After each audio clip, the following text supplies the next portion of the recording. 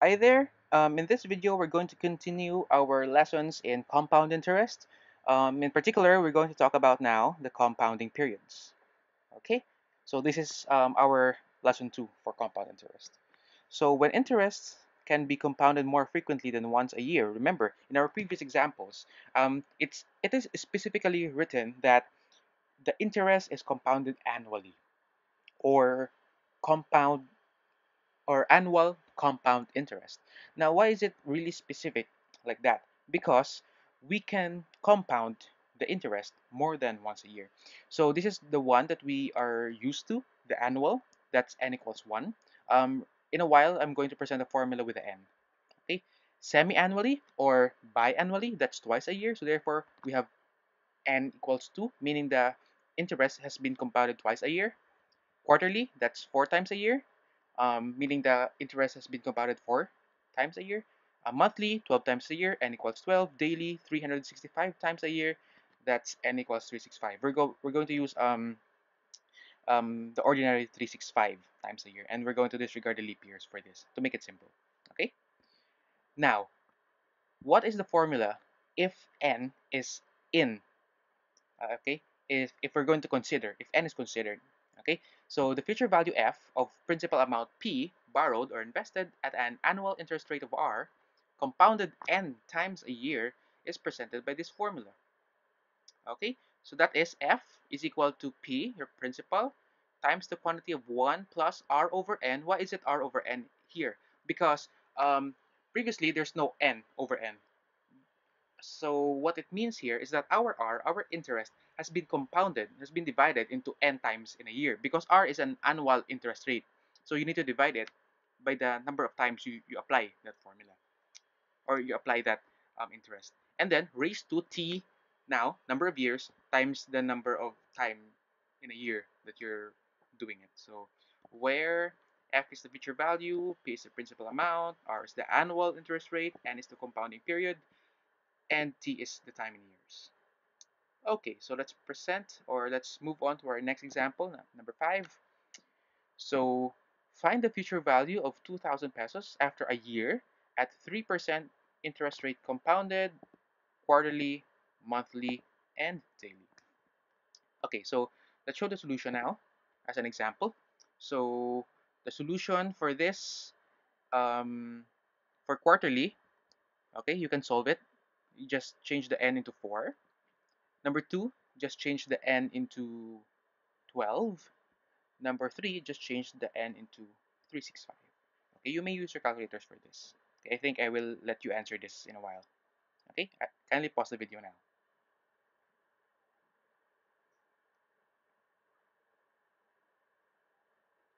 Okay, I think that's enough. You have already the answer, and I believe these are your answers. Okay, right? So for number one, even though the numbers are are not that big, the only difference is in the centavos, but you can see that as the n increases, the value, the future value also increases a little bit. Okay, but the thing is, it's it's different from one or another. So for number one, let's try to check that by calculators. 2000 times quantity of 1 plus um, 0.03 divided by 4 raised to 1 times 4. 1 times 4 is just 4 equals, okay, pretty much the same. But it's 0.678. So just round it up, it's going to become 0.68 by the nearest centavo. For number 2, 2,000 pesos times 1 plus 0.03. We can root, we can use the fraction bar. Instead of the fraction bar, we can use the divide divided by symbol. Um, especially for those calculators which cannot, um, you know, put the fraction bar in. So the answer is the same, 0.83, point, actually it's 0.8319, so just retain, round down. And then 2000 times 1 plus 0.03 divided by 365 because it's daily raised to 365. That's 2060.91. Actually, it's 0.906. Round it up, 0.91. Okay, so that's the solution for our first example for compound interest. Let's proceed to example 6. Suppose you invest 50,000 pesos at a 15% interest rate, compounded semi-annually. Here we go. Determine the future value of your in investment after three years. So you can pause the video now to answer. Okay, now since it's a worded problem, we're going to make use of our um, procedure given ask solution. For the given, we first look at the 50,000, that's your P because you invested that amount. Um, we have an interest rate of 15% in decimal, that's 0.15. And it's compounded semi-annually, so our N is equal to 2 because that happens twice a year. And our time is 3 years, so time is time T is 3. What is asked? It's very clear, determine the future value, that's your F. And the solution, um, copy the formula and then substitute. So we have 50,000 together, 50,000 in our calculators, times, open parenthesis, 1 plus 0.15 divided by 2, close parenthesis, don't forget that please, because if you don't if you do not put the parenthesis, it's like it's going it's just going to raise the, uh, raise the 2, not the whole quantity.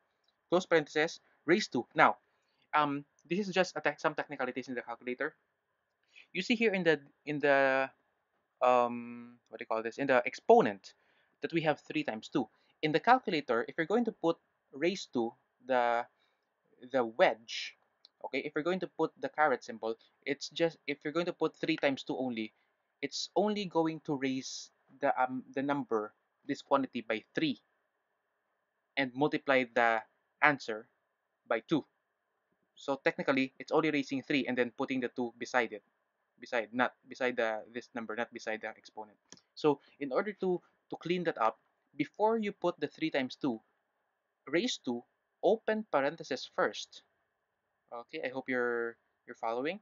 Open parenthesis, 3 times 2, close parenthesis, which means the 3 times 2 is really above that is in the exponent part. So if we're going to click that, the answer is correct. That's 77,165 pesos and 0.08 because it's rounded up. That's 0.08. Imagine if you're not going to click the parentheses in the exponent part, your answer will turn out to be 124,229, which is wrong. Okay, so better um, be careful, cautious, be cautious because calculators are very technical things. Um, one one symbol um, forgotten is one answer being being wrong. okay, so please take note of that. Let's have another example. Okay, let's. I'm going to read it once. To have a capital for a small food business, Nick borrowed 10,000 pesos at 2% interest rate compounded quarterly. How much does Nick need to pay after two years? Okay, I'll leave you with this one. Um, you can pause the video to answer.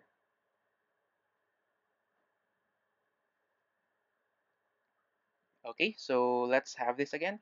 Um, we're going to make use of the given ask solution method, the gas.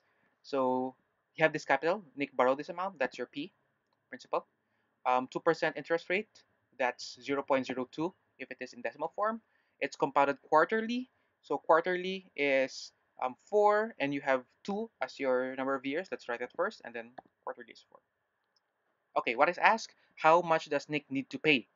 Okay, so imagine Nick borrowed um, this amount at this um, compound interest quarterly, and Nick will pay that after two years. I mean, the full amount.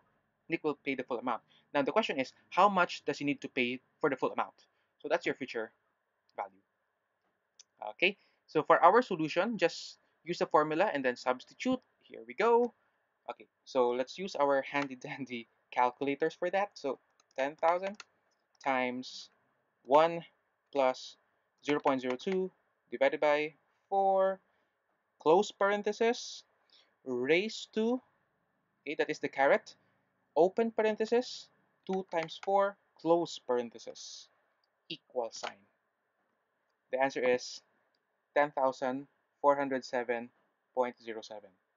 okay again let me let us do again the the calculator technicals, write on your calculators, be with me, 10,000 times open parenthesis, write 1 plus, put 0.02 divided by 4. Don't forget to close the parenthesis to indicate the grouping.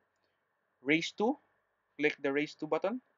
open parenthesis, put 2 times 4, and close parenthesis. Sorry, close parenthesis. And of course the equal sign. And this will come out. Okay, so I think this is the um, the good time to end the video. Um, hopefully you understood how to how to do the compound the compound interest if it has compounding periods. Um, if have if you have any problems, you can of course rewatch this video um, so that you can have the mastery of how to use compounding periods. Okay, so don't forget to like and subscribe. Um, hit the like button, wish you please, and thank you very much for watching. See you.